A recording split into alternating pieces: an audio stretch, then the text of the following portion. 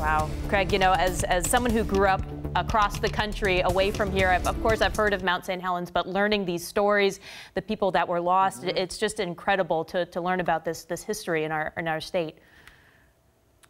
Yeah, it's incredible and to think that it's still so dangerous. You're talking mm. about as well. I remember growing up in Santa Fe, New Mexico and being glued to the television. And I think that might have been what sparked my interest in journalism way back when. I used to watch national news all the time oh, and I wow. remember watching that closely. Oh gosh, what a what a story, right? And we love right. hearing these stories like you said. It's great pictures as well.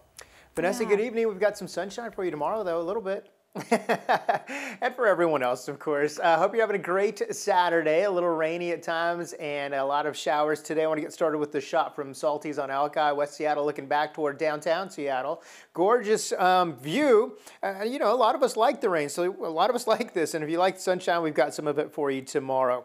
Rainfall totals so far about half an inch Quileute. You've got about two tenths of an inch Shelton or so. Most spots about a tenth of an inch or less. Of course, the rain is going to pick up. And look at this great shot.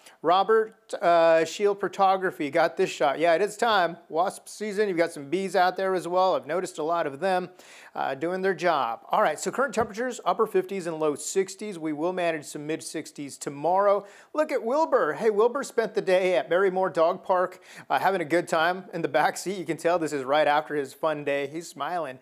Tomorrow, 9 a.m., a chance for showers. This is Paws Moment with Craig. By 3 o'clock, I think we've got some sun breaks for you for a good part of the afternoon as another piece of energy rotates around this system, moving our direction. And uh, we could still see a few isolated thunderstorms, especially tomorrow with some daytime heating.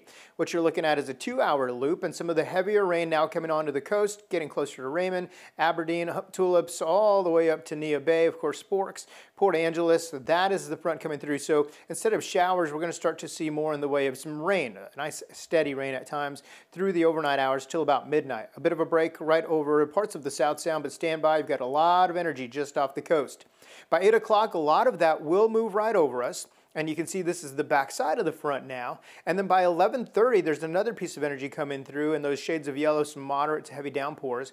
Tomorrow at 8 o'clock, just a few spotty showers. So I'm going to call it spotty showers. Then you don't see a whole lot in the way of cloud cover by 1 o'clock, but you do see a few isolated showers. Perhaps this is when we could see a couple of isolated thunderstorms as well. 5 o'clock, plenty of sunshine. So yeah, mix of sun and clouds tomorrow. Not bad at all, especially after today's nice soaking. It'll nice way for it to go right back into the ground. As we go through Monday, we'll start off dry. By the afternoon, a few spotty showers again, and then the clouds thicken up, and we'll continue to see that trend into next week as well. Highs tomorrow will stay mostly with mid-60s, very close to average for this time of year. Here's your seven-day forecast. I do have a lightning bolt on there tomorrow, just in case we see a few of those isolated thunderstorms as we go into Tuesday, Wednesday, Thursday. Yeah, it's a springtime pattern. A little bit of rain, a little bit of sunshine. Next Friday, once again, looks like the, by the end of the week, we've got plenty of sunshine for you. Temperatures back up into the mid 60s. Not all bad, though. So tomorrow, pretty good. A lot of fun.